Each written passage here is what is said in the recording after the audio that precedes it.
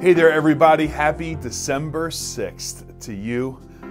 Pastor Brian here with another video just to get you thinking about spiritual things, Advent things, Jesus things in the midst of your week.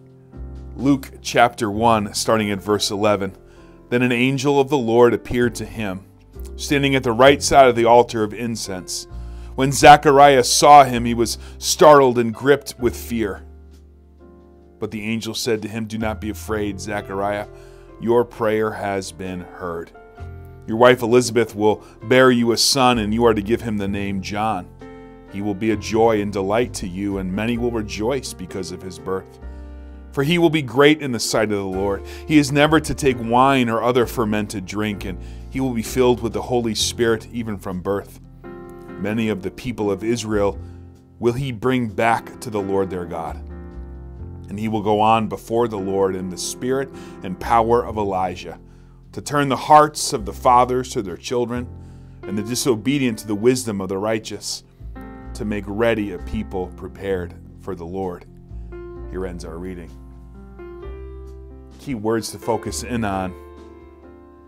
Do not be afraid, Zechariah, your prayer has been heard. I draw comfort, and I pray you do as well with the reality, it's spoken all over the Bible, that the Lord is indeed hearing your prayers. Zechariah and Elizabeth had been praying for months, for years, likely for decades for a child. And when it seemed like the Lord wasn't hearing them, the reality was He indeed was hearing their prayers. He's hearing your prayers as well. Let me encourage you to make prayer part of your Advent season as we wait for the Lord and celebration of His coming. Let us pray. Gracious God, thank you that you do indeed hear our prayers. Even when it seems like you're not hearing, we know from the overwhelming of testimony of Scripture that you are.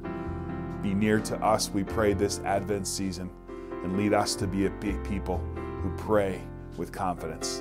In Jesus' name, amen. Have a great day.